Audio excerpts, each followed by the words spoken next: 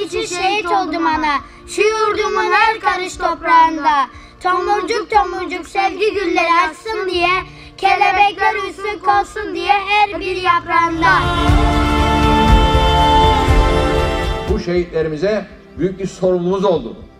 Onların hayatlarını feda ederken onlar Kıbrıs Türk halkını bu topraklarda barış, huzur ve güvenlik içerisinde çocuklarımızın geleceğe emin adımlarla yürüyebilmeleri için hayatlarını feda ederken Kıbrıs Türk halkı çok acılar çekmiş, bedeller ödemiş ve dolayısıyla verdiği soylu mücadelede Anavatan Türkiye'nin de desteğiyle şu anda Doğu Akdeniz'de bu önemli bölgede bağımsız bir Türk devletinin sahibi olarak bunun onuruyla yaşamanın bilinci içerisinde burada tekrar 60. yıl dönümlerinde şehitlerimizin manevi huzurunda onları anıyoruz. Bu 60 yılda çok acılar yaşanırken şehit aileleri en büyük acıyı yaşadılar.